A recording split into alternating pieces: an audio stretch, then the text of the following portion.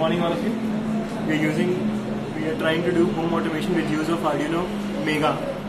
And we have, we have here relay and a power cable through which we are going to provide the AC supply to this bulb.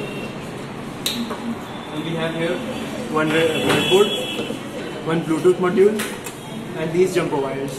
What we are going to do is, as we can see here, we are having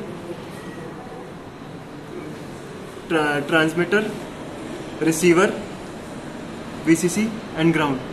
Now we are going to connect these three cables, these three jumper wires, female part to VCC. Here 5 volt VCC. Then another wire to the ground and another wire to the transmitter through which we are going to transmit the data from Bluetooth module to our Arduino.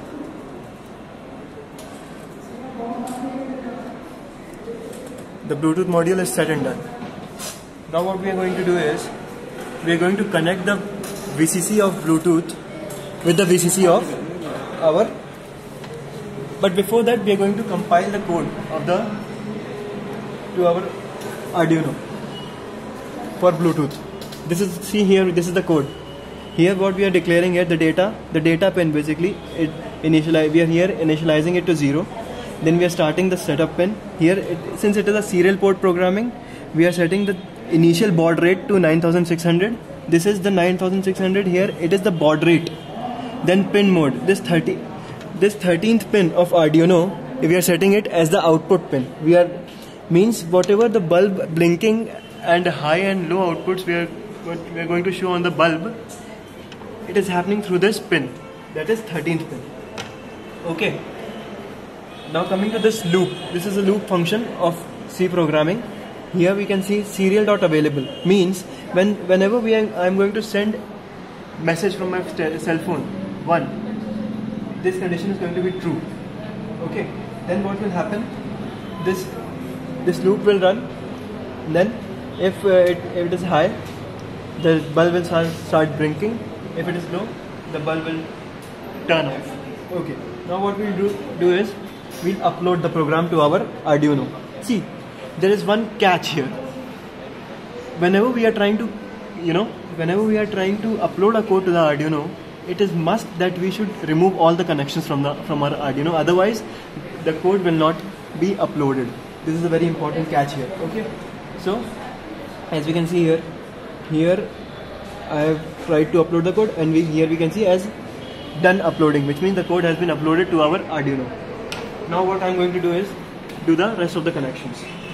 As I said earlier this is the VCC wire of our Bluetooth module. We're going to connect it to the 5 volt VCC of our Arduino. 5 volt this pin. 5 volt. Now we have connected the uh, VCC to 5 volt of our Arduino. Now ground. The very next pin is ground only. Connect ground to ground. And this is the transmitter see since it is a Bluetooth and we are transmitting data from Bluetooth to our Arduino Bluetooth will transmit data and Arduino will receive data. So connect the TX pin of Bluetooth to RX pin of our Arduino. Here you can see RX0 we have connected. Okay? Not we are not now what we are going to do is we are going to do the connections of our relay. What is the function of relay? Let me tell you the functions of relay. Relay is a device which is used for AC appliances. Suppose when we are trying to turn on any bulb or any AC appliance we require 230 volts of potential difference. Okay. Therefore but here what we are having is 5 volt potential which our Arduino is can provide max to max 5 volt potential. That is why since light this bulb we require 230 volts of potential. So what this relay do when we provide a 5 volt potential high output to our relay it turns on the AC supply to, our, to light our bulb basically. This is the basic function of our relay. Okay? Now now I'm going to do the connections of relay. Here I'm having these jumper wires. I'm going to connect ground.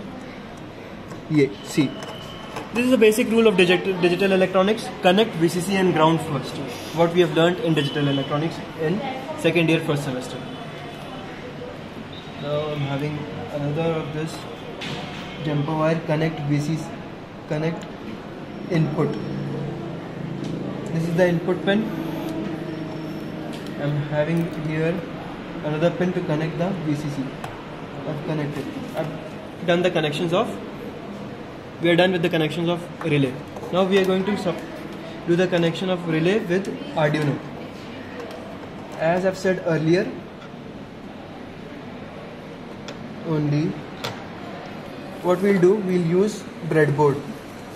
See if I'm going to supply the potential of 5 volts to our breadboard and connect all the relays VCC and Bluetooth VCC to that breadboard only then both of them will get 5 volt of supply. Okay. So what I've done here is um, okay. I'm going to connect VCC of Arduino to my breadboard. I've done this. I've supplied 5 volt of potential to my breadboard. And I've connected my Bluetooth VCC to my breadboard and my relays VCC to my breadboard only. Done. Now these two pins, ground. Now I'm going to connect the ground pin of VCC I relay to this. Now what I'm going to do is connect my input pin of that is my 13th pin to my Arduino. Here. I've done the connection as, and now we can see that my relay is turned on okay now what we are going to do is we are going to supply the AC current I've done the connection and you can see the bulb is turned on. Now I need a, my, a cell phone which has this mobile application. This is the application through which we can control our Arduino's Bluetooth module. Now what I'm going to do is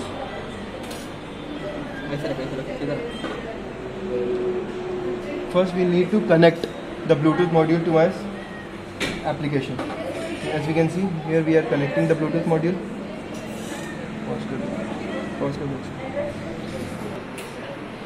okay as we can see here we have connected to our Bluetooth module now I'm going to from here turn on and off the bulb I've pressed the off button, the bulb goes off. When I'm trying to turn on the button, the bulb glows. Again, off, on, off, on, off, on. Now again guys, whatever we have done here is completely based on Bluetooth.